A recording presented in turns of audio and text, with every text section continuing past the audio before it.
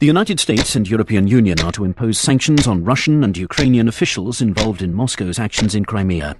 President Obama announced an asset freeze on 11 officials, including Sergei Aksyonov, the acting leader of Crimea, and Dmitry Rogozin, a Russian deputy prime minister, as well as the former Ukrainian leader Viktor Yanukovych. The parliament in Crimea has formally declared independence from Ukraine and applied to join Russia. It announced that Ukrainian law would no longer be valid and all Ukrainian state property on the peninsula would be nationalized.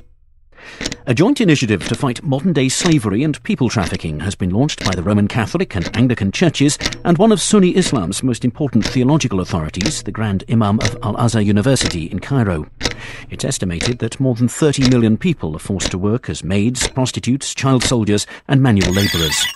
The United States says that its naval commandos have boarded and taken control of a tanker flying the North Korean flag that had loaded crude oil at a port held by rebels in eastern Libya.